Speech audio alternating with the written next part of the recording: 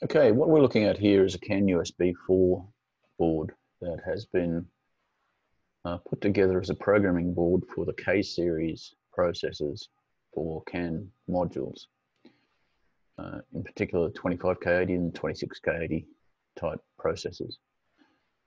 There has been a problem trying to put the CANCOMPUTE firmware on there with the PICkit 3 and the MPLAB uh, IPE version 5.2, where I lay down the code, but uh, if I do it on a board that's already got a crystal on it, then firmware appears to get corrupted and it doesn't play nicely.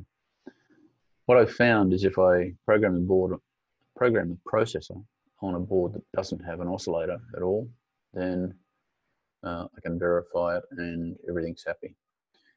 Uh, the modifications to the CANUSB4 are pretty trivial. There is uh, there's a slide switch you can see uh, over over here, and that is a power switch for turning the regulator on.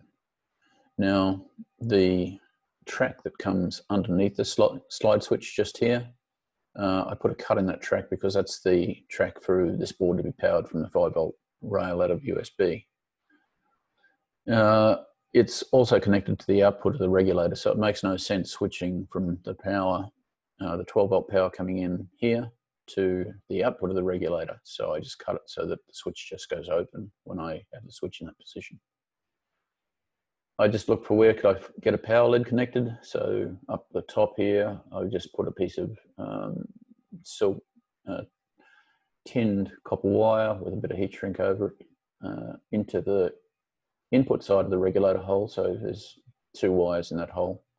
And came down here and picked up a pin that I could get the that I followed tracks around and found it popped up here in this other um, USB header. Then I can get a resistor in for the power lead.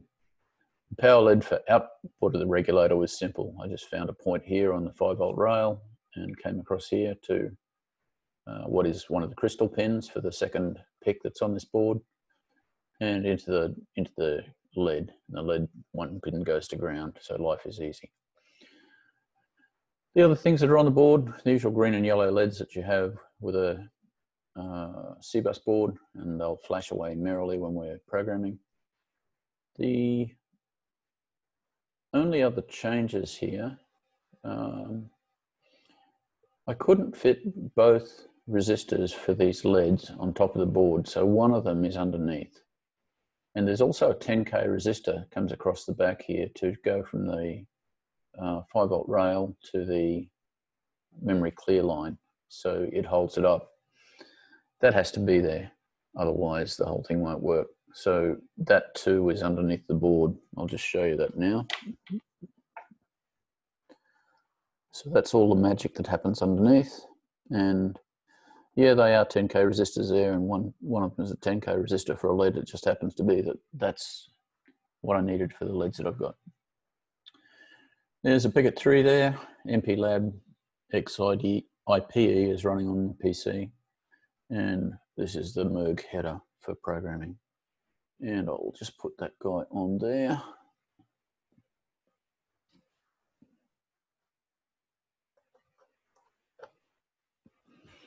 Okay.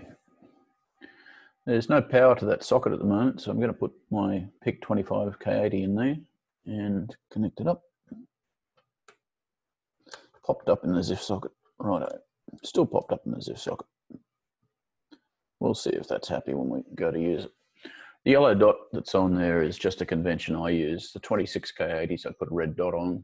The uh, 25K80s I put a yellow dot on. And the 2480s I put a blue dot on because they can all be used on some CBUS boards. So I know what I've got as soon as I look at the processor.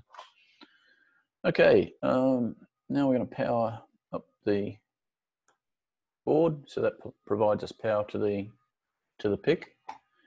And I'm just going to share my MPLAB window now. MPLAB X, screen one. Okay, so now you can see we're all set to go with 25K80 uh, programming. I'm going to load the firmware for this Sorry if the camera glitched there. It's actually a, a uh, iPhone using a bit of software to drive it and it's going to play up again. Hex.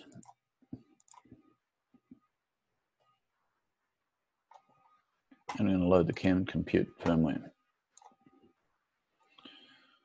First of all, I'm going to connect to this processor.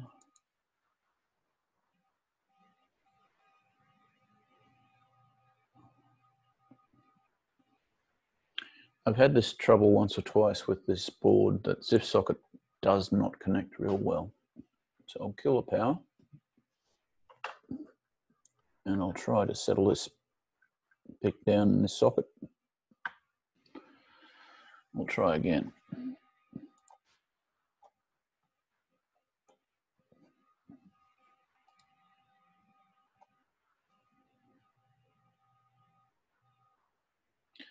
There we go, it found the PIC that time. So now I'm just going to do a blank check on that PIC.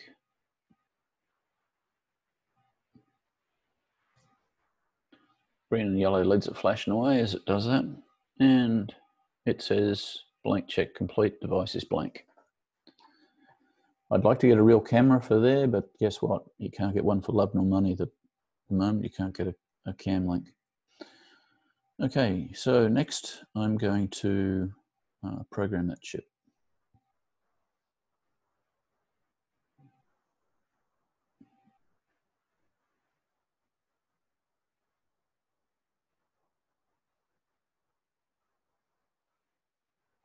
Okay, all done. There's the, the um, checksum. And we're going to do a verify on it.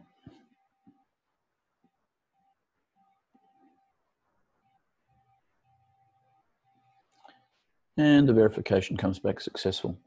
It doesn't come back successful if you try and program it in a board that's got a crystal in it ready to run. Uh, it appears that the code changes some EEPROM values uh, pretty much straight away. That camera's given me the errors, but um, the demo is done other than I'll do a disconnect here, turn the power off to the socket, and I can remove the PIC and that's good to go. And then I've got, then I can do another one um, using the same sequence we just saw. Why they corrupt, I don't know. Um, that this solves the problem and lets me put the PIC on the board and get going is all I needed to do. Sorry about the camera, guys. That's it, we're done. And as soon as I can find the thing to stop share, uh, stop record, I'm done. Thanks, guys.